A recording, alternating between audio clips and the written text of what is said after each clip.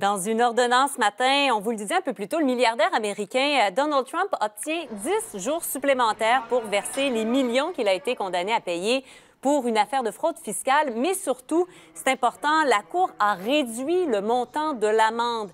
Vous vous rappelez, on parlait de 454 millions de dollars. Eh bien, elle est réduite, cette amende, à 175 millions de dollars. Donald Trump qui avait jusqu'à aujourd'hui pour fournir la garantie qu'il paierait cette somme, ces 450 millions, un jugement qu'il avait porté en appel.